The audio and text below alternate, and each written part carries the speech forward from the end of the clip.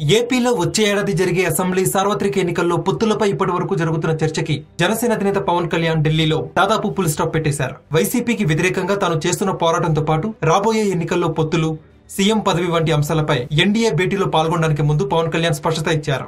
ఏపీలో TDP Janasena BJP కలిసే పోటీ చేస్తాయనుకుంటున్నట్టు పవన్ కళ్యాణ్ తెలిపారు. టీడీపీ బీజేపీ మధ్య అండర్స్టాండింగ్ ఇష్యూ ఉందన్నారు. వాళ్ళ మధ్య సమస్యలపై మాట్లాడలేను అన్నారు. కానీ ఖచ్చితంగా కలిసే పోటీ చేస్తామని భావిస్తున్నట్టు పవన్ కళ్యాణ్ వెల్లడించారు. వైసీపీ వ్యతిరేక ఓటు చేలకూడదనేదే తమ విధానం అన్నారు. రెండు వేల పద్నాలుగులో కలిసే పనిచేశాం రెండు వేల పంతొమ్మిదిలో విడిపోయామని పవన్ గుర్తు చేశారు.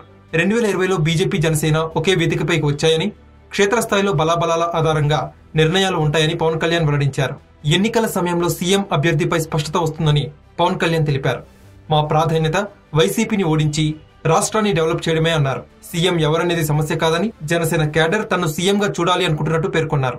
మరోవైపు రాష్ట్రంలో మౌలిక వసతులు కల్పించడంలో వైసీపీ ఫెయిల్ అయిందని పవన్ కళ్యాణ్ ఆరోపించారు. ఉద్యోగులకు జీతాలు సరైన సమయంలో ఇవ్వడం లేదన్నారు. జనసేన ప్రశ్నిస్తోంది ప్రజల మద్దతు కూడగడుతోందని పవన్ కళ్యాణ్ తెలిపారు. ఢిల్లీలో ఎన్డీఏ మీటింగ్ సీనియర్ మంత్రుల నేతృత్వంలో జరగబోతుందని ఎన్డీఏ విధానాలు ప్రజల్లోకి మరింత లోతుగా తీసుకువెళ్ళే విషయంపై చర్చించే అవకాశం ఉందన్నారు తెలుగు రాష్ట్రాల అభివృద్ధి రాజకీయాలు కూడా చర్చకు వచ్చే అవకాశం ఉందన్నారు మరిన్ని పొత్తులపైన ఈ సమావేశంలో క్లారిటీ రావచ్చని పవన్ కళ్యాణ్ తెలిపారు.